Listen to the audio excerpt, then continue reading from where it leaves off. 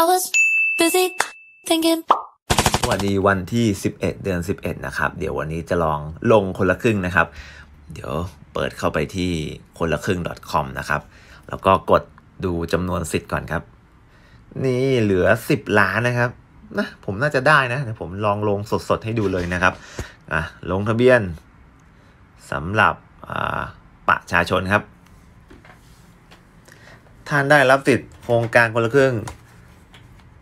อ๋อเขาบอกว่าถ้ารับอันนี้แล้วอีกอันหนึงจะไม่ได้นะครับ กดลงทะเบียนอันนี้คือได้ยังเนี่ยกลับไปหน้าหลัก อันนี้ได้ไหมครับเนี่ย ผมงงมาก ใหม่สิ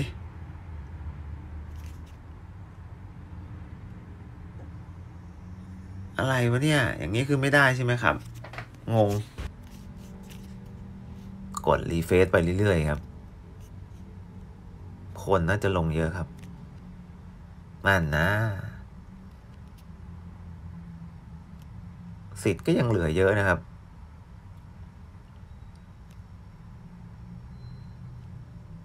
นั่นนะสรุปครับ ผมว่าผมไม่น่าได้หรอกเพราะคนมันลงเยอะ ภารกิจวันนี้น่าจะเฟลนะครับ เซ็งครับคุณผู้ชม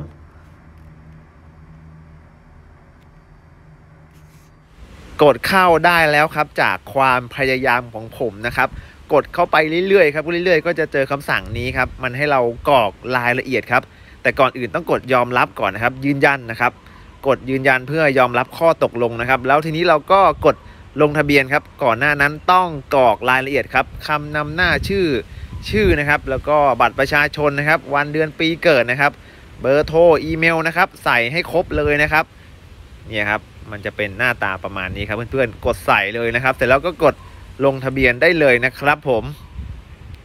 อ่าเดี๋ยวผมกดให้ดูปุ๊บอันนี้ผมกดลงทะเบียนแล้วครับเขาก็จะส่ง OTP นะครับ มาตามเบอร์โทรศัพท์ที่เราใส่ไว้นะครับ ทีนี้ก็กรอก OTP นะครับ ผมก็กรอกไปเลย ตามที่เขาส่งมานะครับ เสร็จแล้วก็กด อ้าว แต่รอบแรกแฮงครับใส่ใหม่ครับ รอบ 2 ยืนยันปุ๊บได้แล้วครับ ทีนี้ก็